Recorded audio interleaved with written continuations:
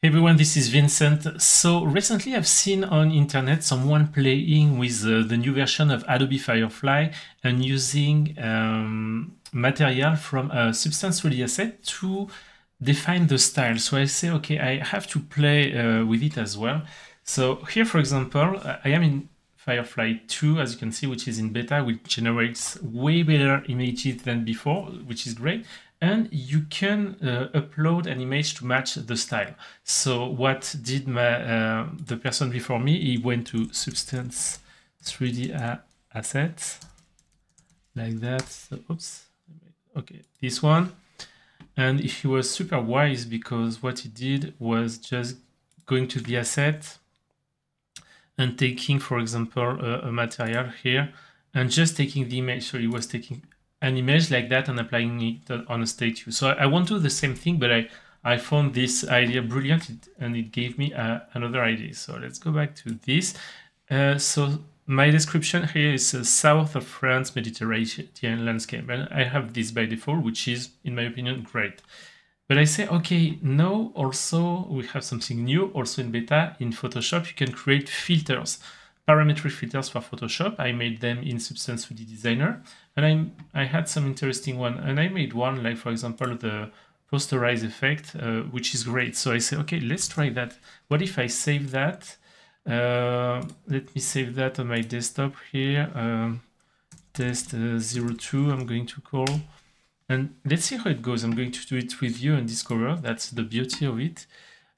So if I put that here now, it will look at the style of my image. And let's do it again and see how it goes. In theory, it will generate something based on my filter as well. So on my image, sorry. I think that's interesting. Uh, so yes, we have to wait a bit. And you see, that's cool. It generates something with a style uh, which is interesting. So Let's go back here. I made another one which should be, not sure yet, but it may be by default in um, in uh, Photoshop when it will be released as official. Don't take my word, but still it's interesting. So let me play a bit with this one. I'm going, it, this is like a fur painting. Uh, I'm going to diminish a bit the intensity and get something like moving the trail length, something like that. Maybe a bit bigger. Don't know what you think this I'm going to reduce. Okay, let's see. I think that's cool. I like that. I'm going to push a bit the curve maybe. And the fade. Let me say. No, this one I won't move. Okay, so let's say, let me, okay, this one, it's a bit better. Okay, so you can play the way you want. I can change the angle as well to get, oh, uh, this is a bit strong me check. I'm going to diminish this effect. Okay, let's say I like that. Once again, let's save this. I'm maybe just going to override the, the previous one. Uh, test uh, test 2, let's call it test 3. Like this, this is fun. Go back to Firefly.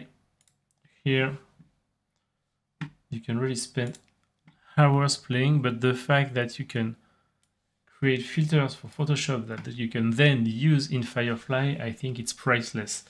So I have this and now generate.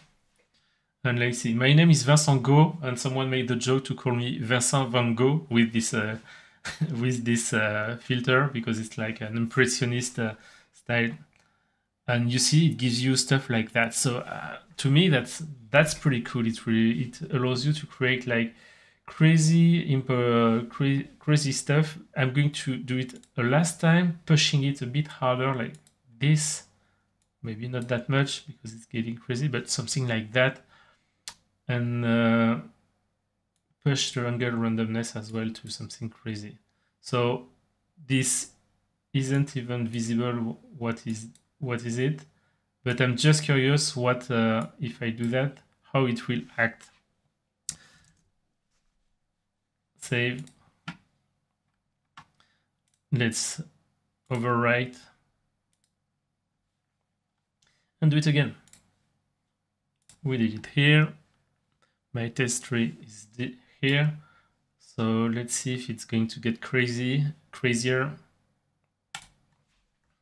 That's a good way. By the way, I'm using a parametric filters, but I'm pretty sure if you use like a default filter also from Photoshop, it would work. But as I can create my own using Substance Designer, uh, for beta right now, you see it gives me something like that. So I can make some new style uh, using this. So the process, designer, I'm creating a parametric filter for Photoshop, applying it on a picture that I take uh, to help um, driving the uh, Firefly in the procedure uh, generative image uh, creation.